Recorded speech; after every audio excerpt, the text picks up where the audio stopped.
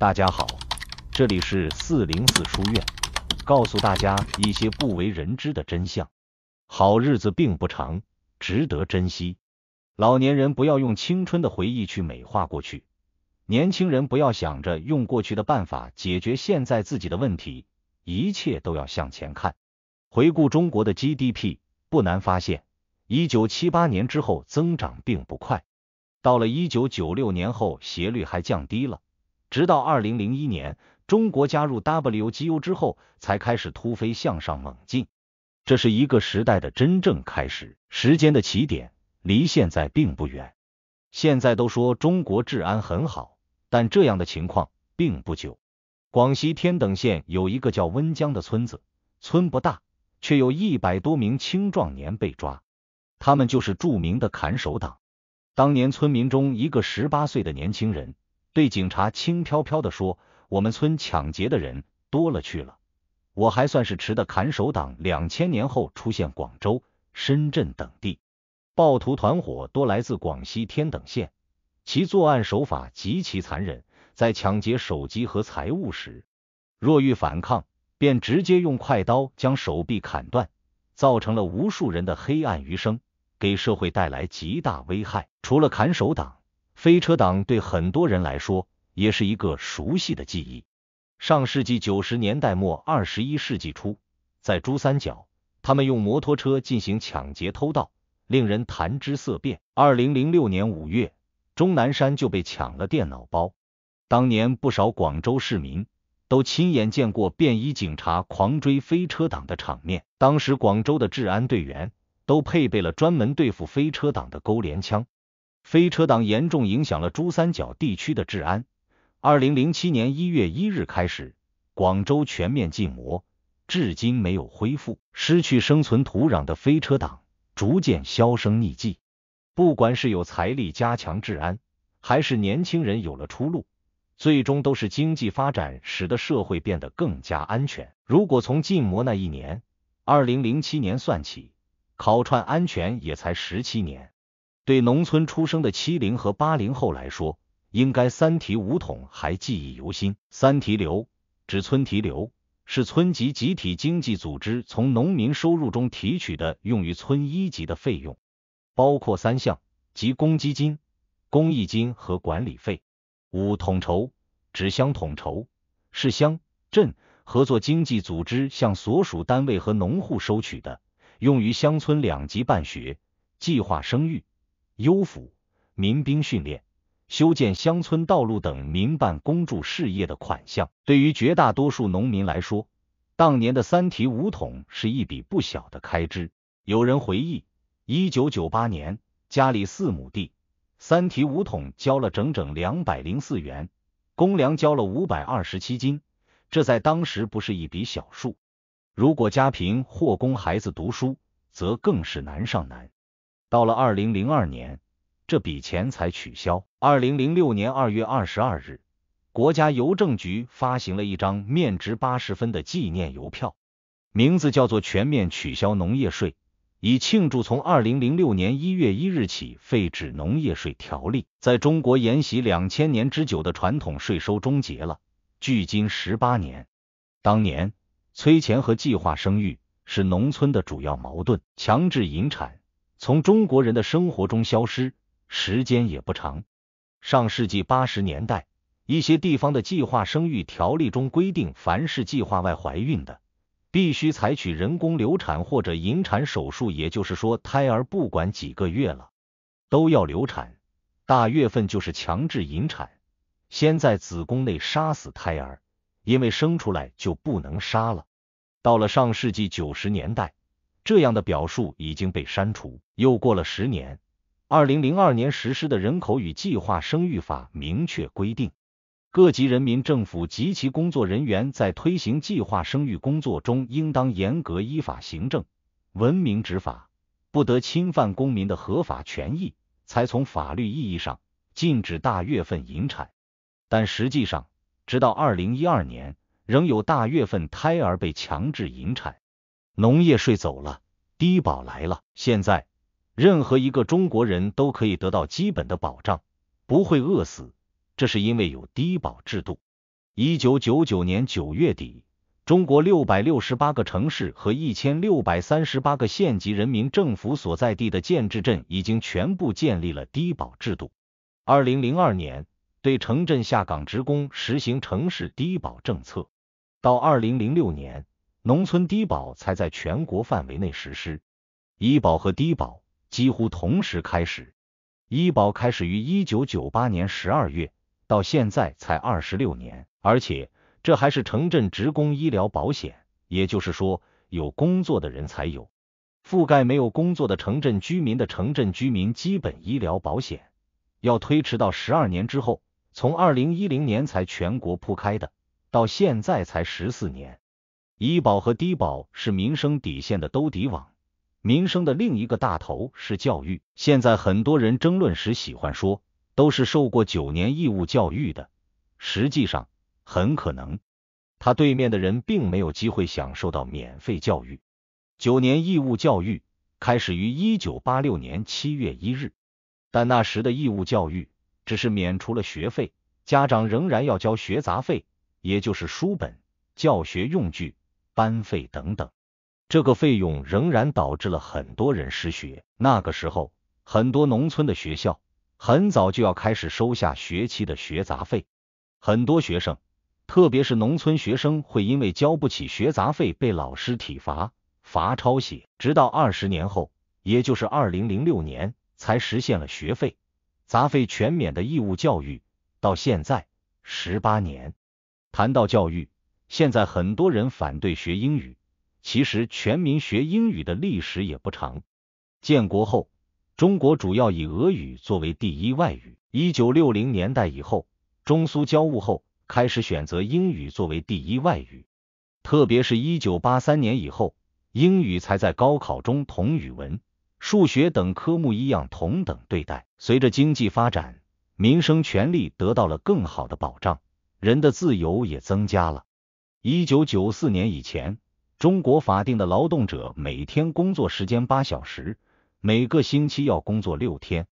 上班族只能把所有的家务活都放在周日干。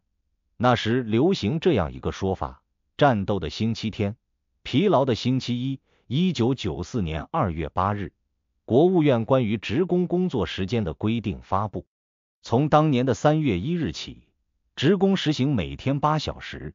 平均每周四十四小时的工时制度，也就是五天半，所以将每两周中的两个半天休息时间调换为一天休息，这就是所谓的大小周制度。第一周休息星期六和星期日，第二周则只休星期日。一九九五年三月二十五日，国务院进一步修改了工作时间，改为每周工作时间四十小时，双休制开始了。到如今。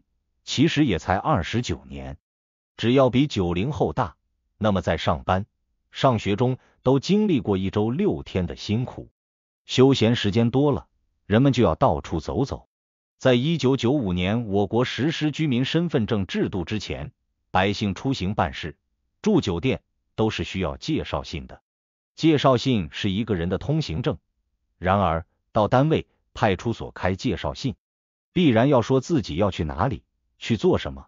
而身份证则不需要，所以身份证制度扩展了中国人的自由，到现在也才二十九年。是的，哪怕现在一个三十岁的年轻人，他也曾生活在需要介绍信的年代。可仅仅有身份证还不够。二零零三年三月十七日晚，二十七岁的大学生孙志刚因为携带任何证件，在广州一家网吧被当作三无人员。送至收容待遣所。二十日凌晨，孙志刚被同病房八名被收治人员殴打，经抢救无效死亡。被媒体报道后，引发全国关注。二零零三年八月一日起，一九八二年发布的《城市流浪乞讨人员收容遣送办法》废止，国务院出台了新的《城市生活无着的流浪乞讨人员救助管理办法》。现在很多年轻人爱说，想走就走。带上灵魂去流浪，去当三河大神，能过这种生活，不被打扰，不被抓走挖沙，也才二十一年。有了身份证，不必担心被收容，旅游就兴起了。以前人们多是借着出差走一走，到了一九九九年，开始有了五一和十一两个黄金周，很大程度推动了旅游业的发展，旅游热持续升温，成为中国人的一种生活方式。距今也才二十多年，人们不仅游览祖国的大好山河，还想去地球上其他地方看一看。从一九九四年开始，中国公民才可以因私出国。但需要申请护照，获得审批，还必须参加旅行团。许多人参加团队旅行，就是为了申领一本护照，方便以后出国。二零零一年，在中国加入世贸组织 WTO 仅仅十天后，中国实行了按需申领护照试点，取消港澳游名额限制。扩大口岸签证点等多项改革措施，它标志着新中国成立以来的护照审批时代即将结束。又过了五年，到了二零零六年，全国两百多个大中城市实现按需申领。王思聪曾嘲讽说：“都二零二零年了，还有人没出过国。”但即便如他一样有钱，想去伦敦喂鸽子，说走就走。也才十八年光景。王思聪一九八八年出生，或许还知道票证。每个中国人都知道凭票供应、粮票、粮本、邮票、肉票、自行车票、酒票等等。年长的亲身经历过，年幼的多少听说过。所有人都觉得那已经是遥远的过去了，但这个记忆并不准确。一九九三年四月一日起。按照国务院关于加快粮食流通体制改革的通知精神，中国才正式取消了粮票和邮票，实行粮油商品敞开供应。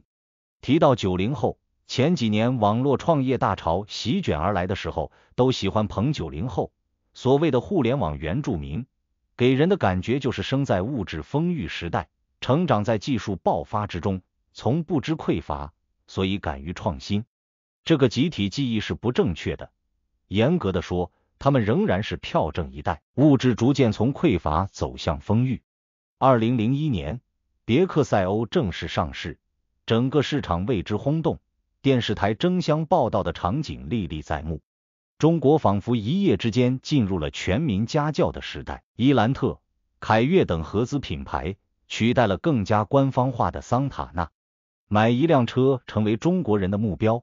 也才二十三年，物质丰富了，精神生活也更丰富了。从一九四九年到一九七六年间，中国一直有进口影片上映，但除了影片交换等非商业性发行之外，是买断发行。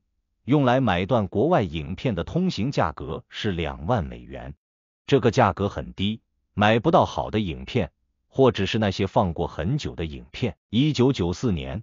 为改变电影市场的持续萧条，时任中影公司总经理的吴孟辰向电影局提议，以国际通行的票房分账形式进口最新的一流外国影片。当年年底，广电部电影局就批准了这个建议，提出每年可以进口十部基本反映世界优秀文明成果、基本表现当代电影艺术技术成就的影片。一九九四年十一月中旬。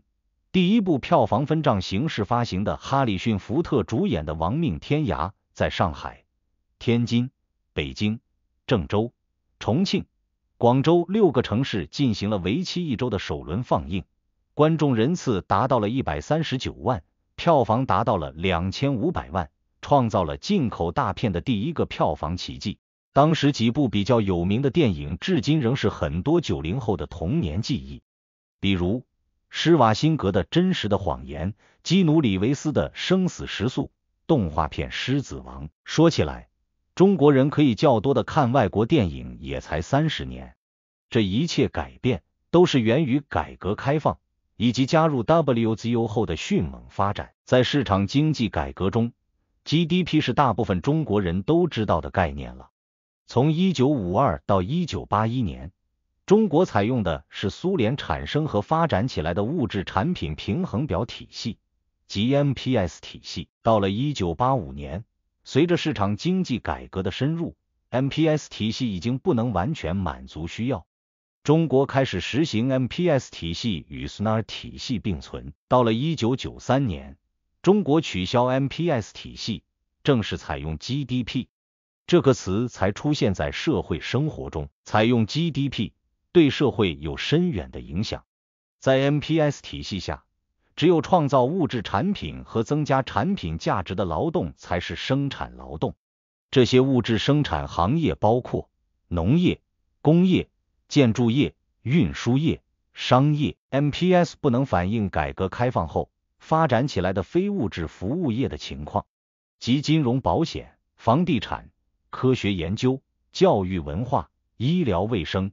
居民服务等行业，MPS 和 GDP 某种程度上，这就是经济虚实之变的来源。显然，这些非物质服务对于人们的幸福生活至关重要。张五常说，中国的经济发展源于县域竞争。某种程度上，一九九三年有了 GDP 之后，老百姓的幸福生活才更全面的成为一种各地政府追求的政绩。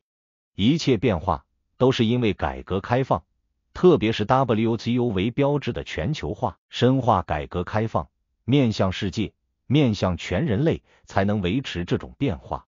很多事到现在为止，时间都不长，可却恍若隔世。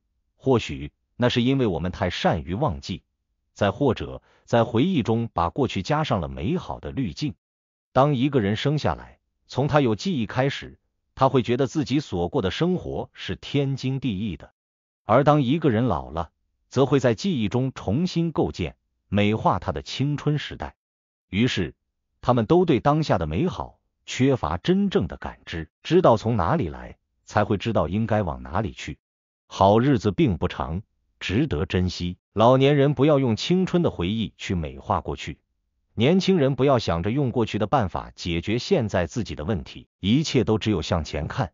我们，我们的孩子，孩子的孩子。如果您觉得有所收获，麻烦帮忙点赞、转发、订阅，谢谢收看。